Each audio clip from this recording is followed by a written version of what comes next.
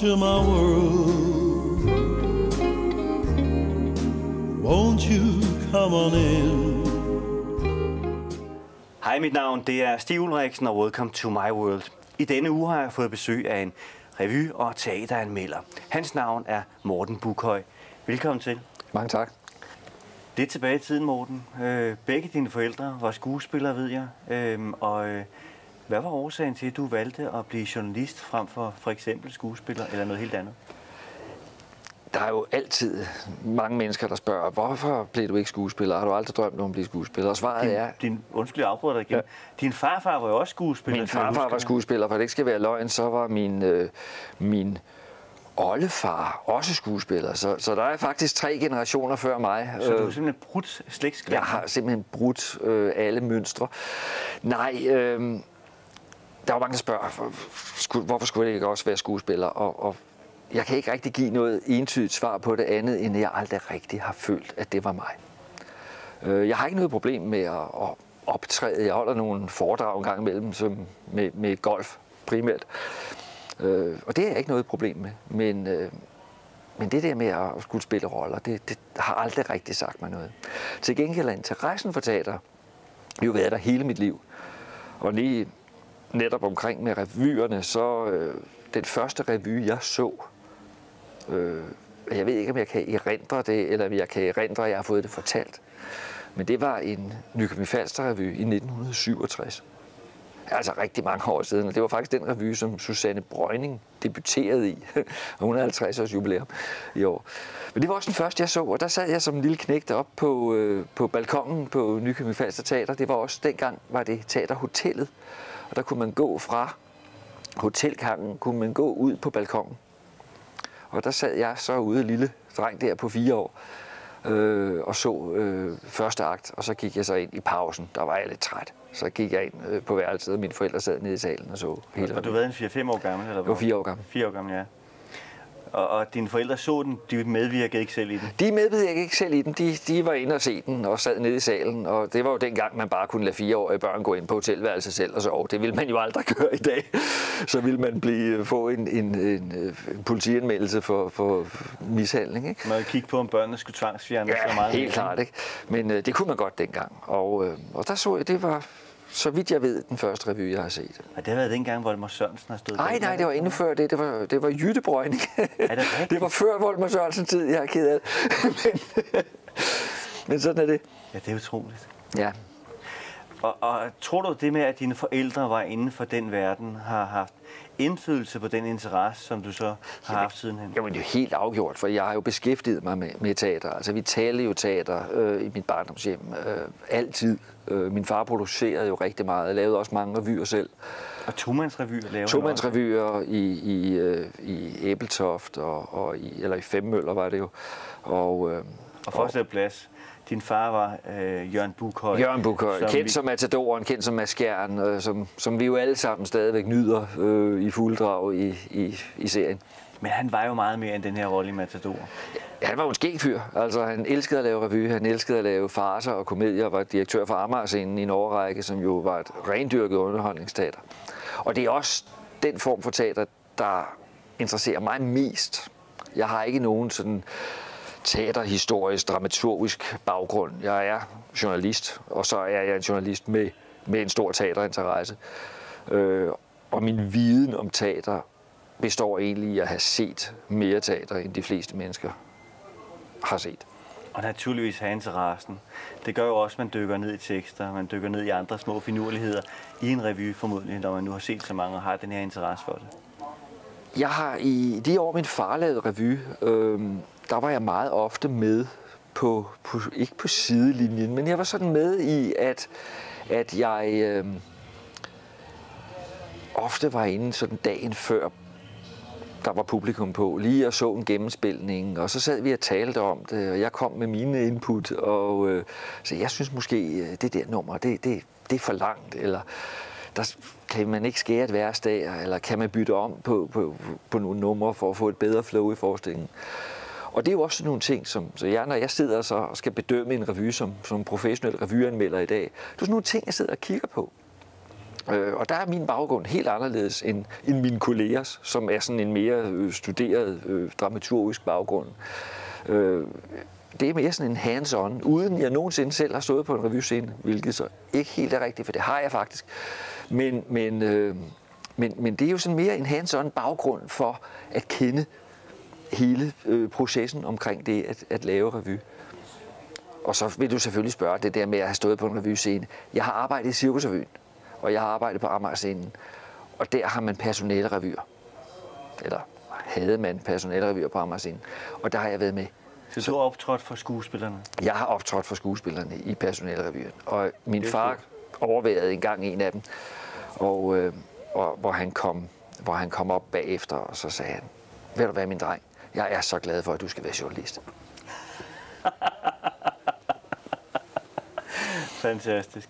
Og når vi snakker omkring din far også, og Matador, så blev der faktisk også lavet en, øh, en, en Matador-forestilling af dem, der var på produktionsholdet, kan jeg huske at læst et eller andet sted. Er det ikke korrekt? Øh, der tror jeg faktisk, dem, der medvirkede i produktionen, de optrådte også som de her figurer i Matador, og således de kunne have noget at grine af, da man var færdig med at lave hele Matador. Det var der vist nok, men der er jo faktisk blevet lavet en musical, ja, baseret på, på Matador. Har du set den? Ja. Og hvad synes du? Oh, en kort anmeldelse. En kort anmeldelse er, at det er noget af det mest mislykkede, jeg har set nogensinde på en dansk teaterscene. Fordi man ganske enkelt ikke har kunne overføre det der øh, fra, fra tv-serien af til Det lykkedes slet ikke. Det lykkedes slet ikke. Jeg ved, at de ændrede den på et tidspunkt. Den blev genopført. Øh, den skulle opføres i to omgange. Øh, og det var på det kongelige teater. Det var ude i, i, øh, i operaen. Peter Langdal. Og, øh, og det lykkedes bare slet ikke. Øh, og så lavede gode, man rutinerede kræfter, der var bag? Meget rutinerede kræfter, øh, der var bag, og, og et, et, et, i og for sig et fantastisk skuespillerhold, som, som, som kæmpede en, en brav kamp med, med et materiale, som, som bare ikke holdt. Øh, så ændrede man på den i forhold til øh, anden gang, den skulle sendes op, sættes op. Man havde allerede planlagt, at den skulle sættes op året efter, og den fik ikke særlig gode anmeldelser, så det var lidt et problem. Og det er den vist nok blevet bedre af. Og nu lever den et liv, hvor den sådan bliver opført i, i sommerfestspil under åben himmel en gang imellem, fordi det jo er populært stof. Og med amatørskuespillere. Og med amatørskuespillere, ja. ja. Vi skal lige snakke lidt om din far, for ellers så ved jeg, at seeren derude, de vil sige, hvorfor spurgte du ham ja, ikke omkring ja. det? Og lad os tage den første ting, du nævnte lidt her før. Din far var jo slet, slet ikke som Mads Andersen Skjern øh, som person. Der er mange, der er et eller andet sted, og det ved jeg, ud fra hvad jeg har læst i hvert fald, at der var mange, der forbandt din far, når de mødte ham på vejen øh, eller på gaden, øh, med Mads Andersen Skjern, og troede, han var den her rige, øh, lidt, lidt agerige type, som måske også kunne være temmelig streng og meget raskaften og kristen og så videre og så videre. Men sådan var din far slet ikke, vel? Det var han ikke. Han var en meget mild mand, og han var en meget munter mand.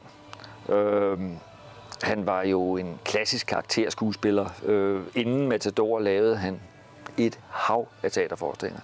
Og han lavede en masse tv-teater, og det var alt fra komedier til øh, UNESCO og, øh, og tung dramatik. Øh, han har spillet alt på alle mulige scener overalt. Øhm, men han havde et, han havde et hjerte for, for morskabsteateret. Han var en grinbider, som han selv, det var sådan et udtryk, han godt selv kunne lide at bruge, øh, ved at grinebider. Øh, og han elskede at, og, øh, at lave skæg og ballade. Så det at lave revyer var, var meget vigtigt for ham. Han lavede revyer i Randers, i Skagen, i Femmøller, i Cirkusrevyen, Nykøbing Falster og alle mulige steder. Og han var en meget kreativ mand. Det skal man måske være også inden for skuespilbranchen, men han var meget kreativ til, hvis ikke lige der var øh, et eller andet i horisonten med jobs, Ja, så kreerede han selv øh, en revy, eller en tomandsrevy, eller tog ud og lavede et eller andet specielt. Det er faktisk sådan lidt en familiesvaghed. Øhm, min farfar, som også var skuespiller, Per, Bukhøj. per Bukhøj, øhm, han var på et tidspunkt også formand for Skuespillerforbundet. Men øh, han var også sådan en, der satte, satte skibe i søen. Han fandt ud af på et tidspunkt at øh, lave rejse til Afrika og lave en film om det mørke Afrika, som han så turnerede rundt med i forsamlingshuse og holdt foredrag, viste sin film og holdt foredrag. Øhm, og, øh, og min far var allerede som, som barn, øh, lavede han øh, amatørteater øh, i, på Frederiksberg, øh, sammen med, med, øh, med andre skolebørn og øh, sørgede for at lave forholdsvis professionelle opsætninger, fordi han jo havde det i blodet hjemmefra. Så han kunne ikke bare lave sådan noget skolekomedie. Det skulle være den ægte vare. Og han satte selv øh, ting op og, og allerede som, som 13, 14, 15 år. Så kom han på, øh, på Aalborg Teater som, som øh, elev, øh, som 17-årig, og debuterede som, øh, som Nikolaj i Nødebo Præstegård, øh, også som 17-årig. Og så lavede han en hel del i Aarhus sammen med din mor også, inden de tog turen til København, så vidt jeg husker. Ikke sandt? Nu er vi jo i Østjylland. Jo, altså, jamen, øh, jeg er født i Aalborg. Der var de på Aalborg Teater, og, øh, og siden så rykkede de et, et smut til Aarhus Teater, hvor min mor havde været i en, i en længere periode, inden de havde mødt hinanden. Øh, I virkeligheden var min mor jo på det tidspunkt mere kendt, end han var. Det er der mange, der, der glemmer. Men øh, min mor var en, en ganske stor øh, stjerne på Aarhus Teater tilbage i 50'erne. Hun var seks år ældre end min far. Og, øh, og øh, de kom så tilbage til Aarhus Teater, var der, så vidt jeg ved, en enkelt eller to sæsoner. Vi boede i Aarhus. Og så rykkede de til, til hovedstaden. Øh, vi rykkede nu ikke rigtig til København, for vi boede faktisk en 45 minutter uden for København på en, på en bondegård.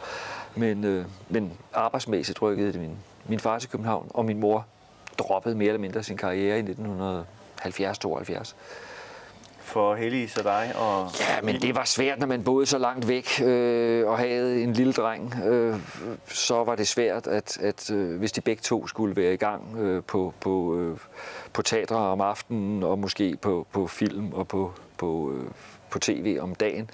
Det var simpelthen svært at få det til at hænge sammen. Og så hang det også lidt sammen med, at der var lidt færre roller til en, en kvindelig skuespiller på det tidspunkt i den alder, sådan omkring de 40. Så, øh, så det var naturligt for hende at, og, øh, at slå op i banen. Heldigvis har den slags også ændret sig igennem årene, at kvinder, selvom de bliver ældre, ja, så er der stadig gode roller at finde til dem jo. Det kan man så glæde sig lidt over. Men det er desværre et problem rundt omkring, ikke kun i Danmark. Det er jo stadig et problem. Altså, der er, der er stadigvæk færre roller til, til kvindelige skuespillere, end der er til, til mandlige. Og, øh, og man ser det jo også tit i revyerne. Nu var jeg i Esbjerg-revyen i går, og der var tre mænd og en kvinde. og det var en udmærket forestilling. Men for lige at runde din far, Jørgen Bukhøj, af, for i øjeblikket ser vi ham jo i Matador igen, og han er jo en elsket skuespiller. Jeg øh, personligt i hvert fald har altid været totalt vild med Matador, og jeg synes jo, det er en fantastisk rolle, din far han spiller i Matador. Hvordan var tiden efterfølgende for din far? Han går jo faktisk fra, han var jo rimelig kendt inden Matador, men han var jo mega kendt efter hans medvirkning i Matador. Der var det jo sådan, så der kunne han nok ikke gå i fred på gaderne længere. Altså morsomt var, at han var jo faktisk ikke særlig kendt inden Matador. Øh, han, var, øh, han var kendt i branchen. Han var meget anerkendt, han var en meget benyttet skuespiller, men han var jo en af de der, som kunne gå fuldstændig i fred på gaden. Der var ikke nogen, der, der tænkte over, at han lige... Jo, hvis der lige havde været en tv-teater-ting øh, øh, søndag aften, så kunne det da godt være, at der var nogen, der, der mandag morgen lige tænkte, oh, var det ikke ham, der var i tv i går? Men, men så var det heller ikke mere. Men Massador betød jo enormt meget, hvad det angår. Han blev en berømthed øh, på på mange, øh, på godt og ondt jo på nogle måder, fordi han var også et, et generet menneske, som, som i virkeligheden ikke rigtig brød sig om berømmelse. Men, øh, men, øh, men han var meget, meget glad for rollen, han var stolt af den, og, og den betød meget for ham også arbejdsmæssigt. Øh, han kom på Amager scenen blev direktør der. Det er jeg jo ikke sikker på, at han var blevet, hvis, hvis øh, ikke han havde, havde lavet Matador. Så på den måde havde det en positiv effekt på resten af hans liv, øh, det her med at lave den her hovedrolle i Matador. Jamen det havde det absolut, og, og man kan sige, at resten af hans liv var jo desværre ikke så langt. Han døde i 1994. Det er meget... 12 år efter, man afsluttede Matador, så vidt jeg husker. Ja, sådan noget lignende, ikke? Ja, øh, 78 til 82, ja, 12 år efter, ja. Men, men de 12 år var selvfølgelig øh, 12 gode år. Øh, med meget at lave, meget, øh, mange opgaver, meget mange teateropgaver, mange øh, øh, revyer, øh, Amagerscenen. Ikke så meget tv. Øh, han lavede en eneste tv-ting efter Matador, og det var en lille bitte rolle i Gyngehøvdingen, som, øh, som er jo en af de der serier, som vi alle sammen håber, vi kan glemme på et tidspunkt. Det var, var det med Pilmark Det var det med Pilmark og Pallesen, og det var en katastrofe. Men, men, øh, men, men øh, det var den eneste tv-ting, han lavede efter Matador overhovedet. Altså rolle. Så lavede han nogle, nogle øh, talkshows og sådan nogle ting efterfølgende. Men skyldes det simpelthen, at folk så ham som Mads Andersen Skjern, uanset hvilken rolle han så kom til at have, så var man bange for det ganske enkelt, at, at folk ja. ville have svært ved at sætte ham ind i en ny rolle, fordi de kendte ham så godt fra Matador. Kan det være det? Det, det kan det jo godt være, men det er jo lidt en dårlig undskyldning, fordi det har jo aldrig været noget problem for, for Gita Nørby, eller for Holger Juhl Halsen, eller for Malene Svarts, eller for Per Pallesen, eller nogle af de andre, der, øh, der var med i den øh, fantastiske serie. Øh, de her havde jo masser at lave efterfølgende. Så nej, jeg tror egentlig, jeg tror egentlig det var tilfældigt. Men, øh, men måske var det sådan, at, at man var bange for, at, at den her relativt ukendte skuespiller ville blive forbundet med den ene rolle, og så turde man ikke. Og Vi havde set Gita Nørby i mange andre roller inden da, og hun var jo kendt selvfølgelig. Ja. Inden vi går over til det sidste her, så øh, din far døde af lungekræft i 94. Øh, var han syg mange år? Eller? Nej, han var syg et lille års tid. Øh, blev, fik det konstateret øh, i foråret øh, 93, og, og var så gennem noget operation og noget genoptræning. Øh, desværre var der noget, der gik galt under operationen, så han, hans stemme blev, blev påvirket. Og, øh, og så kom han meget, meget kortvarigt øh, tilbage. Øh, han havde et stort, stort ønske om at komme tilbage på scenen, og øh, han kom så tilbage i i musicalen Cyrano, som han så spillede til indtil 14 dage før sin død, hvor han så måtte træde ud af forestillingen og, og øh, mærket af, af sygdom, og så døde han 14 dage efter. Han har været en stærk mand. Han var en stærk mand, ja. ja. Og det får mig til næsten at stille spørgsmålet om det der med at tage fat, hvor en slutter. Din far skrev jo også en, øh, en selvbiografi øh, fra dreng til matador. Øh, jeg kan ikke lige huske, hvornår den sluttede helt præcis, men den sluttede nok 10 år før han, han døde i hvert fald. Var det ikke et projekt, man måske kunne tage fat på, og så fortælle den historie færdig? Det kunne da godt være. Det kunne da godt være. Jeg ved ikke, hvor stor interessen er for det, men øh, det kan jo være, at der er nogen, der, der finder interesse for det, så er det da velkommen til at, til at kontakte mig. Det, øh, det skal da ikke være noget problem. Morten, din far er en af de mest folkekære, populære skuespillere i dag. Det kunne godt være, at han ikke var det i starten af sin karriere, men i særdeleshed takket være Massador, så tror jeg, at alle danskere øh, kender ham.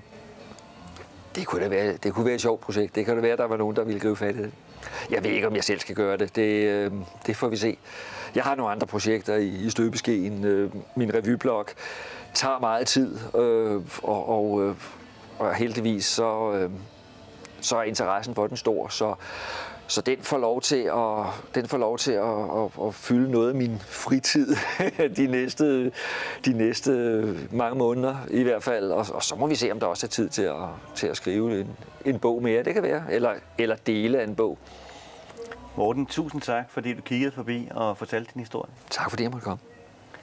Og dermed er jeg nået frem til vejs ende af Welcome to my world i denne her uge. Jeg håber at se jer alle sammen tilbage igen i næste uge. Tak fordi I kiggede med. Welcome to my world.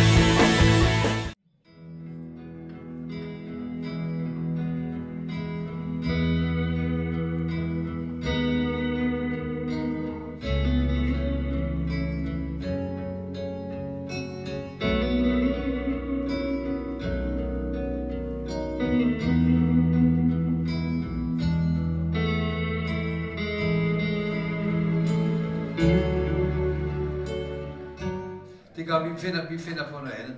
Du spillede sådan rigtig god en sidste gang, du var der. Det var sådan ikke noget, der skulle have... At du var ved at lave til en ny plade. Skal jeg have den i gang til? Ja, den var så god. Nej, vi vil godt have den i gang til. Ja. Den er rigtig god. Jeg tager opfordringer. Så vil jeg lige lave noget reklame. Så, det, øh, det, hele, så skal I næsten have historien øh, en, en gang til, bare den korte version selvfølgelig. Jeg lavede, jeg lavede en guitarplade. Det gjorde jeg for et par år siden.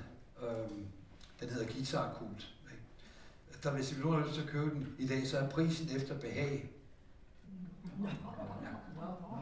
Altså, dog starter behaget ved 100 kroner stykket, men altså, der, derfra op, der er hjertet velkommen, ikke? Øhm, Jamen, så vil, jeg, så vil jeg tage, så vil jeg tage nogen. Skal I have den samme, som I havde sidste år? Den var god. Den vil godt have? Jamen, det, ja, så tager vi den. Det er en, fra en film, der hedder Deer Hunter, og, og sangen eller nummeret, det hedder Cavatina. Og den, den, den kommer så her. En anden idé, der hørte lige bagefter.